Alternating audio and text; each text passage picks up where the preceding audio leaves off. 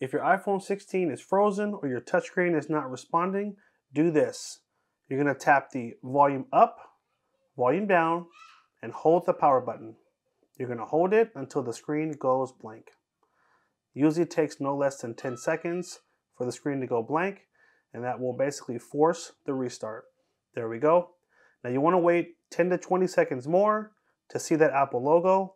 Now in our case, it showed up quick. If it doesn't for you, simply press the power button one more time to kick it back on or plug it into your charger. And there we go. Our screen is back on and ready to go. Hit the like button if it was helpful. If you're not already a subscriber, hit that subscribe button and stay tuned for more videos. Take care, and as always, have a good one.